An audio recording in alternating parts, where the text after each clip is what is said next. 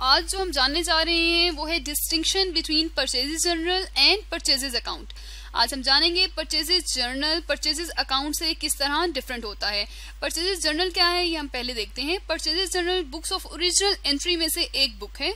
Books of original entry क्या होती हैं? बुक्स ऑफ़ ओरिजिनल एंट्री में छह डिफरेंट तरह की बुक्स होती हैं, छह डिफरेंट तरह की चीज़ें मेंटेन की जाती हैं, जिसमें हमारे पास परचेजेस जर्नल होता है परचेज रिटर्न जर्नल होता है sales journal sales return journal cash journal और पैटी कैश जर्नल होता है। अब बुक्स ऑफ़ ओरिजिनल एंट्री पे एक हम सेपरेट वीडियो कर चुके हैं, जिसमें हम लोग बुक्स ऑफ़ ओरिजिनल एंट्री की तमाम डिटेल्स देख चुके हैं। तो हम लोग यहाँ पे ये सिर्फ़ इतना कह लेते हैं कि परचेजेस जर्नल जो है, वो बुक्स ऑफ़ ओरिजिनल एंट्री में से एक है।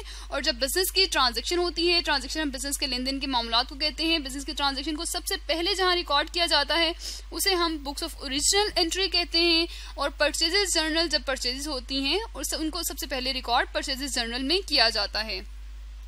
अब हम आते हैं परचेजेज अकाउंट पे।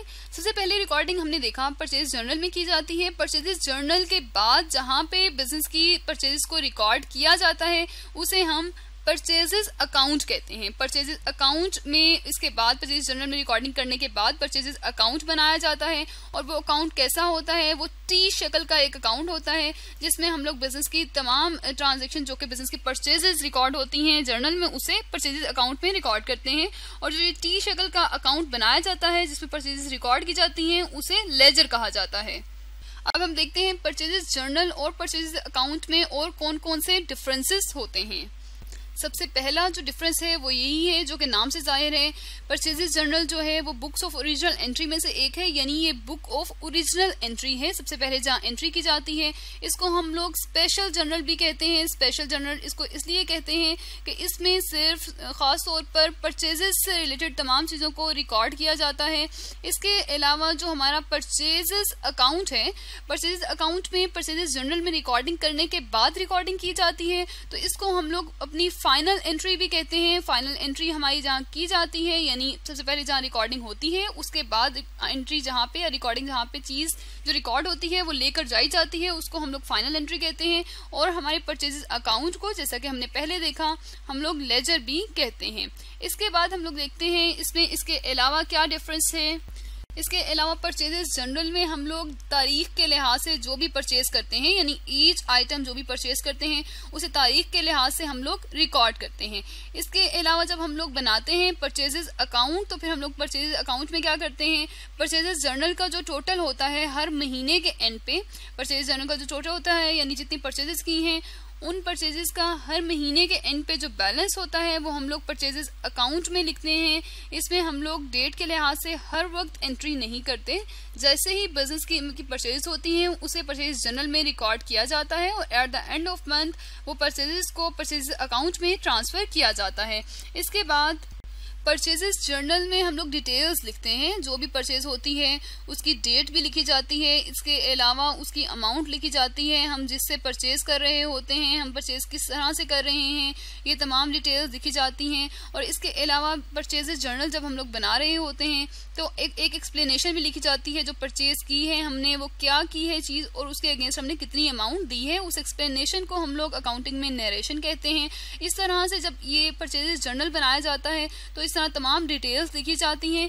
इसके बरक्स जब हम लोग परचेजेस अकाउंट बनाते हैं तो परचेजेस अकाउंट में सिर्फ़ और सिर्फ़ इसका ताल्लुक अमाउंट से होता है, यानी हमने कितने की परचेजेस की हैं। अब जो बहुत इंपॉर्टेंट डिफरेंस है, वो ये है कि जब परचेजेस जर्नल बनाया जाता है परचेज जर्नल में सिर्फ़ और सिर्फ़ कैश सेल को रिकॉर्ड किया जाता है। सॉरी परचेजेस जर्नल जब हम बनाते हैं तो उसमें हम सिर्फ़ और सिर्फ़ क्रेडिट परचेजेस को रिकॉर्ड करते हैं। इसमें कोई भी ऐसी परचेज नहीं होती जिसके लिए हम उसी वक्त कैश वसूल कर लेते हैं। अब क्रेडिट परचेजेस होती क्या हैं? जब हम लोग परचेजेस करते हैं, चीज़ें खरीदते हैं, यानी हम लोग लिख लेते हैं, चीज़ें बाय करते हैं तो उसके दो तरीके होते हैं। या हम लोग कैश उसी वक्त पे कर देते हैं जिसे हम अपनी कैश परचेजेस कहते हैं। कैश परचेजेस को हम परचेजेस जनरल में रिकॉर्ड नहीं करते। इसके बरक्स दूसरा जो तरीका है वो ये है कि हम लोग चीज़ें खरीद लेते हैं और हम लोग जिससे खरीदते हैं चीज़ें, हम उसे कहते हैं, हम आपको पेमेंट फ्यूचर में कर देंगे। कुछ टाइम पीरियड ले लेते हैं, एक महीना, दो महीना या तीन महीने हम लोग ले लेते हैं। इस तरह से जो हम लोग टाइम पीरियड ले लेते हैं और हम लोग पेमेंट बाद में करते हैं, उन्हें हम अपनी क्रेडिट परचेजेस कहते हैं। तो परचेजेस जर्नल में हम सिर्फ़ और सिर्फ़ क्रेडिट परचेजेस को रिकॉर्ड करते हैं। और अब अगर हम आते हैं परचेजेस अकाउंट में तो परचेजेस अकाउंट में तमाम परचेजेस चाहे वो कैश परचेजेस हों, चाहे वो क्रेडिट परचेजेस हों, तमाम परचेजेस को रिकॉर्ड किया जाता है। इसके बाद जो आखिरी डिफरेंस है परचेज जनरल और परचेज अकाउंट में वो क्या है, वो हम देख लेते हैं। परचेजेस जनरल जो है, वो फाइनल अकाउंट बनाने के लिए रिक्वायर नहीं होता। मतलब इसकी ज़रूरत नहीं होती फाइनल अकाउंट बनाने के लिए। फाइनल अकाउंट क्या होते हैं? बिज़नेस की तमाम ट्रांजेक्शन जो होती हैं, जो लेन देन के मामला परचेज या सेल बिज़नेस की तमाम ट्रांजेक्शन जो होती हैं, उनका जो फाइनल रिज़ल्ट होता है, जिसे हम लोग बिज़नेस की इनकम कहते हैं या फिर हम लोग जिसे बिज़नेस का लॉस कहते हैं, इसके अलावा बिज़नेस के जो हालात हैं, माली हालात हैं, इनको जानने के लिए और बिज़नेस की कैश पोजिशन को जानने के लिए डिफरेंट अकाउंट्स बनाए जाते हैं डिफरेंट फाइनेंशियल स्टेटमेंट्स जिसे हम कहते हैं, वो बनाई जाती हैं इन तमाम पर्पसेस के लिए। अब इन तमाम पर्पसेस के लिए हम लोग जो फाइनल अकाउंट्स या फाइनेंशियल जो स्टेटमेंट्स भी हम बनाते हैं तो उनके लिए हम लोग परचेजेस जनरल की हमें ज़रूरत नहीं होती। क्योंकि परचेजेस जनरल से हम लोग परचेजेस अकाउंट बनाते हैं, जिसे हम लेजर अकाउंट कहते हैं। तो जो लेजर अकाउंट में बैलेंस पड़ा होता है, इस बैलेंस को यूज़ करके हम लोग फाइनल अकाउंट्स मेंटेन करते हैं। तो हमारे पास परचेजेस अकाउंट की ज़रूरत होती है, जब हम लोग फाइनल अकाउंट बनाते हैं तो हमें परचेजेस जर्नल की ज़रूरत नहीं होती, जिस वक्त हम लोग फाइनल अकाउंट बना रहे होते हैं, उस वक्त। तो आज हमने जाना परचेजेस जर्नल क्या होता है और परचेजेस जर्नल किस तरह से परचेजेस अकाउंट से डिफरेंट होता है और परचेजेस जर्नल जो है वो बुक्स ऑफ़ ओरिजिनल एंट्री में से एक है और सबसे पहले परचेजेस जब होती हैं, इसकी एंट्री जो है, इसकी रिकॉर्डिंग जो है, हम बुक ऑफ़ ओरिजिनल एंट्री यानी परचेजेस जर्नल में करते हैं।